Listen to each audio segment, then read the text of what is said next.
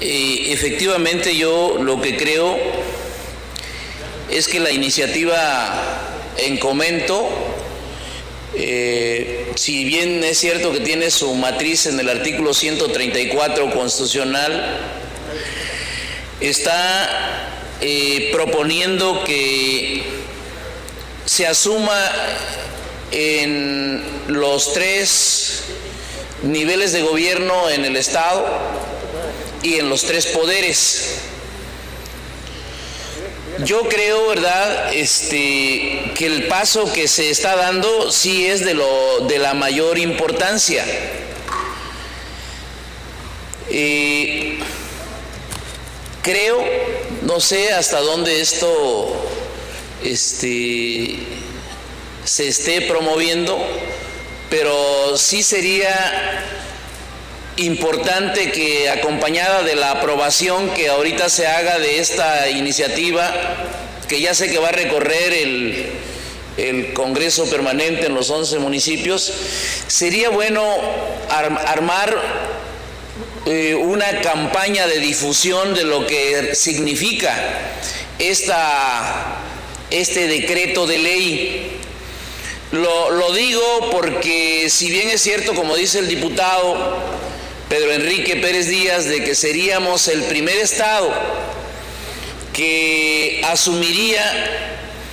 eh, la letra constitucional federal para plasmarla en la letra eh, constitucional local. Eh, esto yo sí creo hace un replanteamiento de lo que pudiera ser una especie de arquitectura o ingeniería eh, no solamente de carácter económico, administrativo, sino también de carácter político. O sea, reclama una cultura política para que se aplique en la práctica el tema del gobierno abierto, ¿verdad? Eh, entiendo que ya fue discutido en las comisiones, prácticamente la firman todos los compañeros de Morena, en su caso los compañeros del PRD con el compañero Pedro Enrique. Pero yo, yo no sé, hay quienes dicen, por ejemplo, con el tema que traemos aquí, este, en el filo de la navaja, en la línea de fuego, sobre el tema de eh, la aprobación de los derechos sexuales y reproductivos, la educación para una este, un control de la natalidad y etcétera. Yo no sé si, si este tema eh, haya contado con la opinión, por ejemplo, de, además de las comisiones que la suscriben y la promueven, de pues gentes del poder ejecutivo, del poder judicial o de algunos ayuntamientos. No lo sé, la verdad es que a mí me toma como un, un poco por sorpresa el asunto. Pero si se va a dar el paso, yo propondría que sea una, una votación unánime. Yo propondría eso. Porque si no, eh, el tema puede eh, entramparse en el, en el Congreso permanente, es decir, en los municipios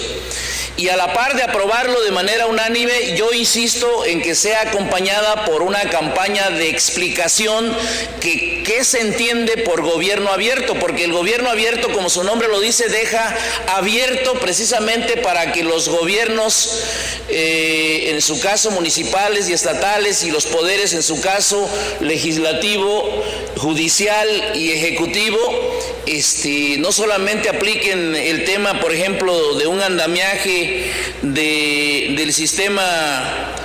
eh, de anticorrupción o de, de, una nueva planeación. Yo por eso digo que es muy importante lo que se está intentando aprobar. Y mi intervención es precisamente hacer un llamado a la legislatura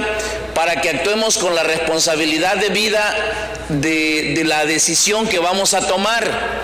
Porque yo estoy de acuerdo con el gobierno abierto, yo estoy de acuerdo eh, que, por ejemplo, haya una rendición de cuentas en todos los poderes, en todos los niveles. Estoy de acuerdo con que se combata la corrupción, la impunidad. Estoy de acuerdo que a esta figura constitucional, eh, esta figura legislativa que se va a aprobar, se le acompañe, por ejemplo, otras figuras de democracia participativa, que en su caso ya existen. Por ejemplo, el tema de la ley de participación ciudadana que aborda el tema de la consulta popular, el referéndum, el plebiscito, inclusive creo que hay hasta una iniciativa que habla sobre el tema de la afirmativa ficta parlamentaria a nivel de la, legislatura local y hay una iniciativa que yo no sé si está o no está ya en discusión de una afirmativa ficta parlamentaria municipal que obliga tanto al Congreso o en su caso también una afirmativa ficta para el Poder Ejecutivo a contestarle a la ciudadanía las peticiones que puedan ser planteadas por escrito y en su caso decir sí, ¿por qué sí? Y en su caso decir no y por, qué no, ¿verdad? Entonces, yo este, sí creo importante lo que se, se, va a aprobar, pero también creo importante que estas mismas comisiones que están lanzando esta iniciativa